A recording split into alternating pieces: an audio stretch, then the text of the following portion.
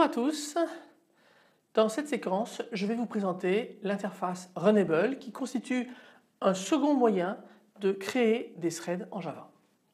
Vous savez que euh, pour créer une thread, on l'a vu dans une séquence, eh bien il faut hériter de la classe thread.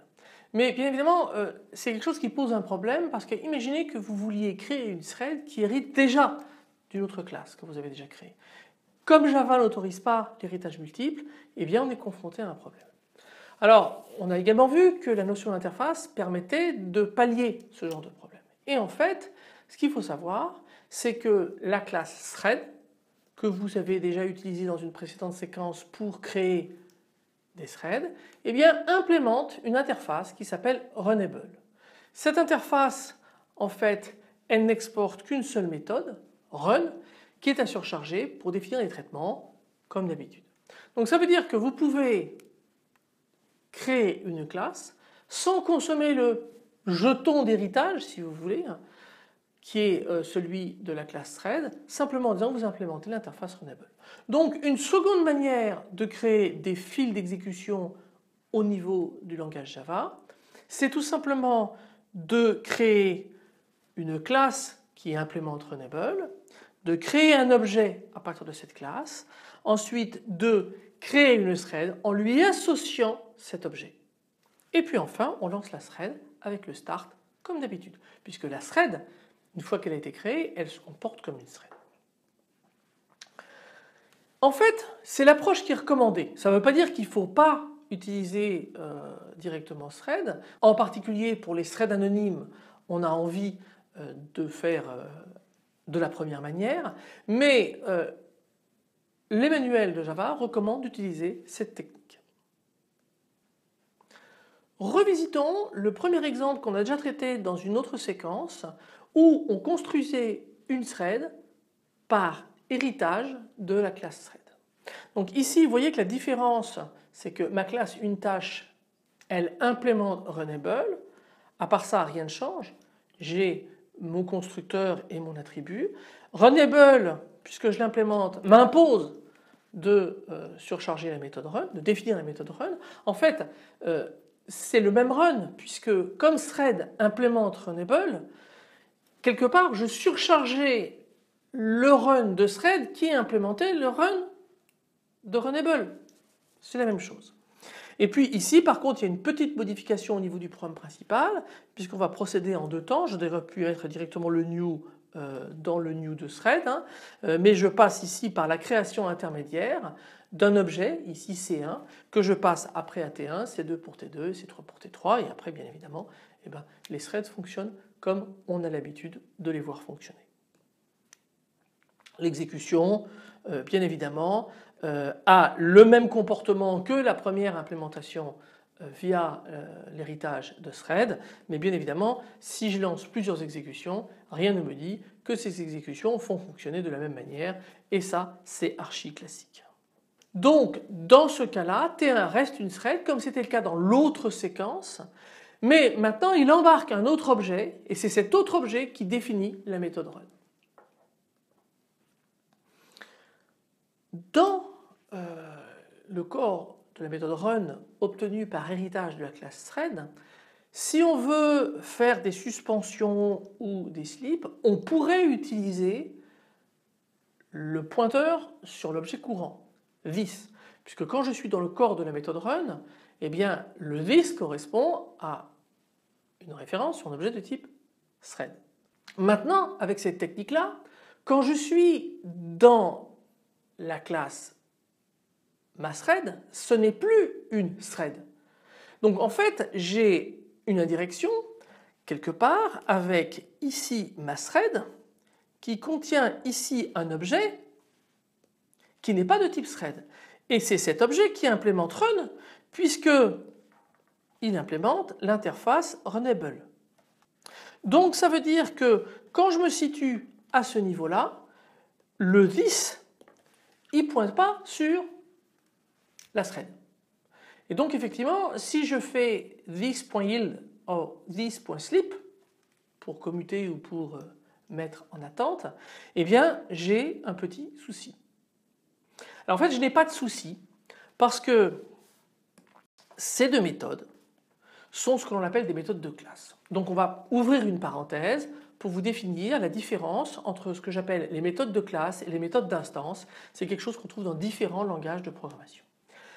La méthode d'instance, elle ne peut s'appliquer qu'à une instance donnée. C'est-à-dire que par exemple, euh, imaginez que j'ai euh, une classe étudiant et puis j'ai deux objets étudiants et je veux faire un get nom pour récupérer le nom de l'étudiant. Bien évidemment, récupérer le nom de l'étudiant, je récupère le nom d'un étudiant, donc d'une instance de la classe, donc d'un objet. Et donc ça, getNown est forcément une méthode d'instance. Elle ne s'applique qu'à une instance. Par contre, prenons l'exemple du constructeur. Le constructeur, c'est plutôt une méthode de classe. Puisque, en fait, au moment où je construis l'objet, je n'ai pas encore la référence à l'objet. Et on a en fait d'autres types de méthodes qui pourraient manipuler des choses, mais au lieu de manipuler simplement quelque chose qui est local à une instance d'un objet, à une instance d'une classe, il va manipuler des données qui sont partagées. Typiquement les attributs statiques ou des choses comme ça. Et donc ça veut dire qu'il existe des méthodes de classe qui ne s'appellent pas sur des instances mais sur des classes. Alors en Java il y a un truc un peu particulier, contrairement par exemple à Objective-C où vous ne pouvez appeler une méthode de classe qu'en désignant la classe. En Java on peut appeler aussi une méthode de classe en désignant l'objet puisque via la référence à l'objet on retrouve sa classe. Bien évidemment, on ne peut pas désigner une méthode d'instance via le nom de la classe, puisqu'on ne connaît pas toutes les instances de la classe, on a besoin de désigner une des instances.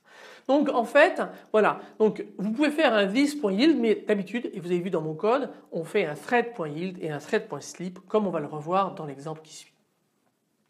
Donc reprenons mon exemple, là je vais ici introduire une commutation forcée, je suis typiquement dans la situation qui me pose problème, c'est que je ne peux pas ici désigner facilement la thread puisque je suis dans une instance d'une classe, une tâche qui n'a rien à voir avec thread.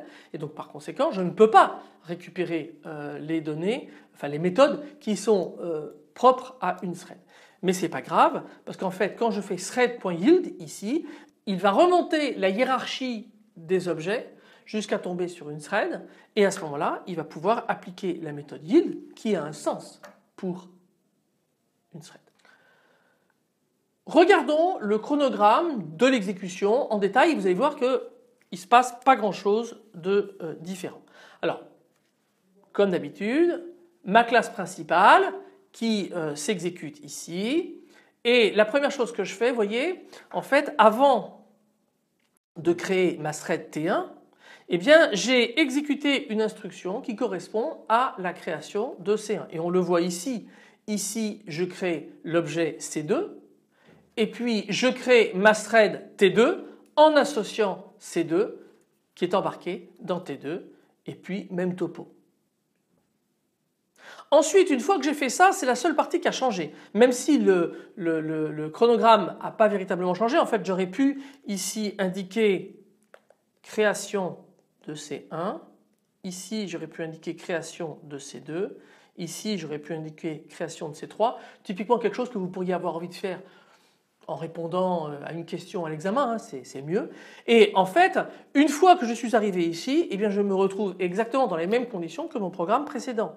Et donc là, je fais le start pour T1, je fais le start pour T2, je fais le start pour T3, mon programme principal se termine. Voilà.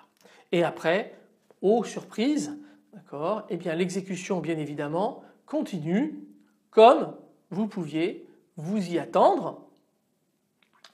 Euh, elle s'exécute exactement comme euh, dans la séquence où je vous l'ai présenté, avec ici l'exécution par exemple euh, de T3 jusqu'au yield qui est ici, puis après l'exécution de la deuxième partie, puis après évidemment la terminaison et lorsque le programme, les trois threads sont terminés, le programme est terminé et tout se passe bien.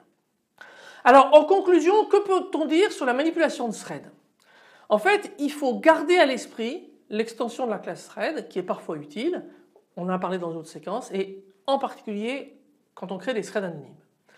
Mais par contre, c'est l'approche qu'il faut utiliser, celle que je vous ai présentée dans cette séquence, l'approche que j'appelle Runnable, parce qu'elle est recommandée dans les manuels de référence du langage Java et de toute façon dans la suite de ce cours c'est quasiment exclusivement cette technique que nous utiliserons.